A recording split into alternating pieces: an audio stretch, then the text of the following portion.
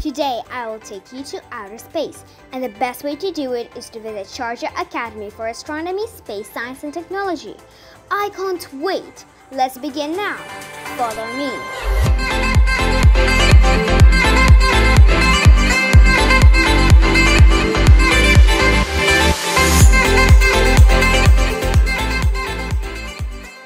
The solar system consists of eight planets Mercury, Venus, Earth, Mars, Jupiter, Saturn, Uranus, Neptune, and the dwarf planet Pluto. Mercury is the closest planet to our Sun.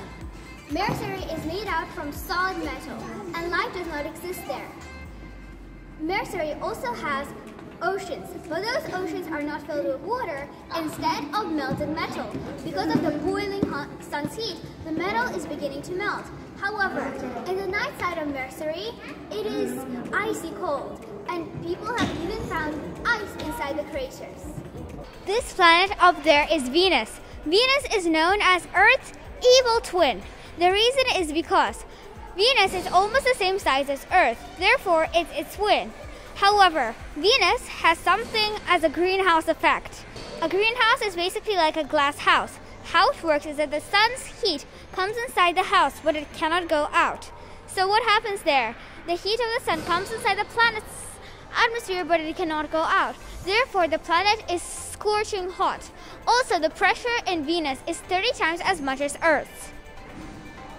This is our favorite planet, and a planet that we can call home. This is Earth. Earth is the only planet in our solar system that has life, or at least we believe that it is. Earth is where we live. Earth has oxygen and water, which is the mandatory features for life. This is Mars. Mars is the closest planet to Earth and the second smallest planet in our solar system. Did you know that UAE has sent a satellite to Mars and it took seven months to reach it?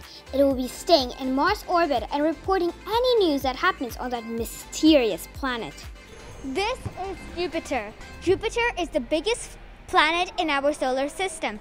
It is the fifth planet away from the sun. Jupiter has these yellow spots on the planet.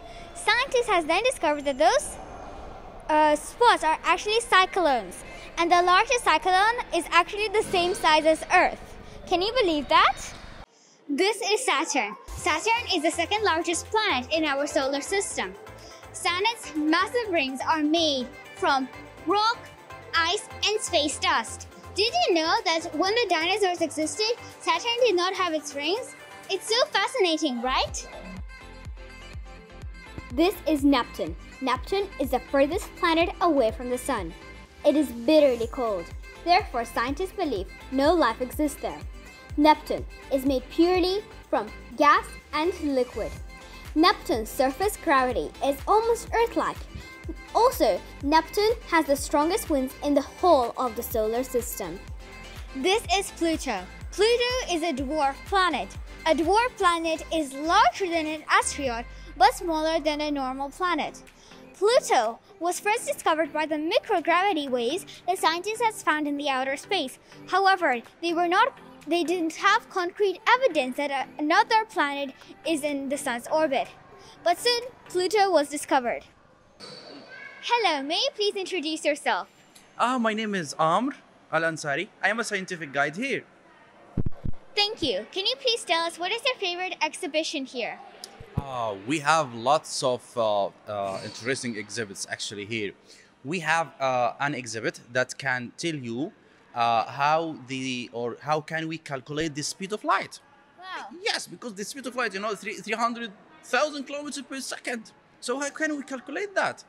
So we have an exhibit here that can uh, tell you or can teach you how to uh, calculate it. We have also another exhibit, which is my favorite exhibit. It's the lunar rover in Apollo missions uh, like uh, Apollo uh, uh, uh, 15, 16, and 17. They took with them a rover. It's like a vehicle because they wanted to to cross or to walk on the moon for a, a long distance. They took it for them. Currently, they are they have three of rovers there. So we have one here, but of course not not the same weight. The origin one very light, but the one that we have just bit. Have you ever met an, a real life astronaut and what do they think about space? Okay. So uh, actually, it was uh, uh, one of my favorite uh, time to meet one of them because it was my dream to be an astronaut. Now I am an astronomer, and it's a big difference between them because here, as astronomer, we study stars from Earth, but astronauts they travel to the outer space and study stars from the outer space. So I met here uh, Hazza Al Mansouri, and he is uh, uh, an astronaut from UAE, the first Emirati uh, astronaut. I met him after his successful uh, mission to the ISS. He went there for two weeks. I, of course, I asked him many questions, but I told him, "How was your, you know, your feelings when you were in the outer space in the ISS, watching the the the Earth from there? And uh, what about your thoughts at that time?" He told me once I was when I, I was there actually I, I looked at the earth i didn't see any borders i didn't see any uh, you know between countries there is no no borders we as astronauts uh, from the outer space we have we, we are brothers and sisters we cooperate together for the sake of this planet and i think for the next generation they will uh, dive into the depth of the universe maybe now we can travel only to the iss but maybe the next generation will travel to Mars, for example. And it's gonna be like uh, a dream that we need to do, or we need to, to, yes. Thank you very much for your You're answers. welcome.